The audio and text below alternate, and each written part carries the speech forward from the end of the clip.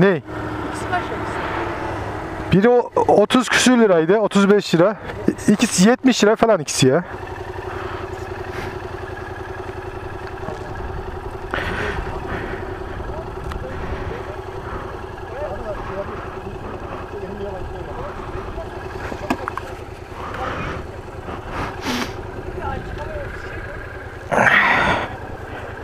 Az da vayda görüşürüz.